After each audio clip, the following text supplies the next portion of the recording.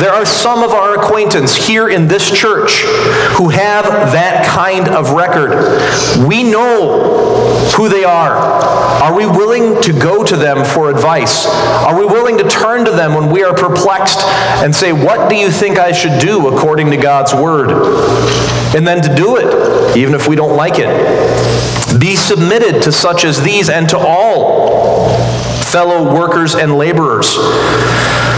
We are called to submit to such as these, a submission to those of faithful service. What does that mean? Because it sounds like, you know, a little much.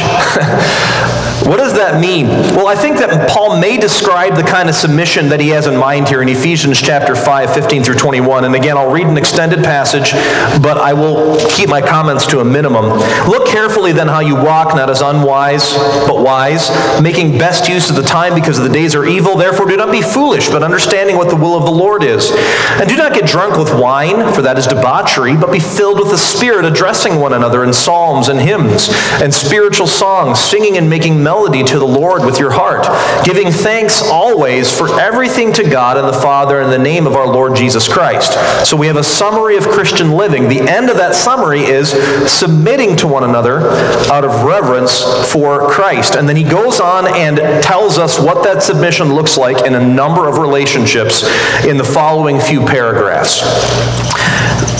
Submission is not reflexive obedience in Ephesians chapter 5 and 6. Submission is boundaried by reasonable rules.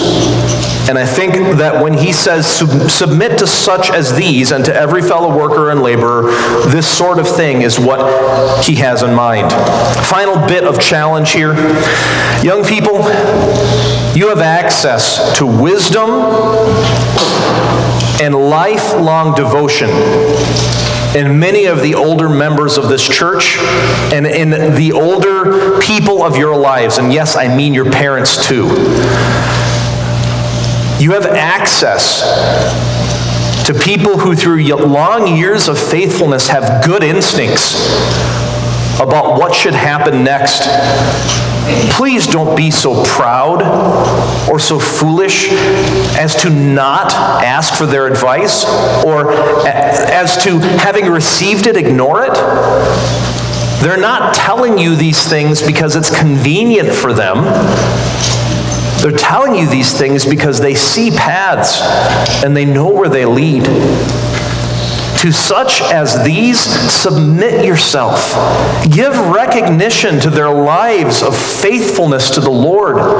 Follow their advice. It will work out almost every time. And when it doesn't work out, it's probably because you had misplaced expectations. Brothers and sisters, be watchful. Stand firm in the faith. Be courageous. Be strong. Let all that we do here be done in love.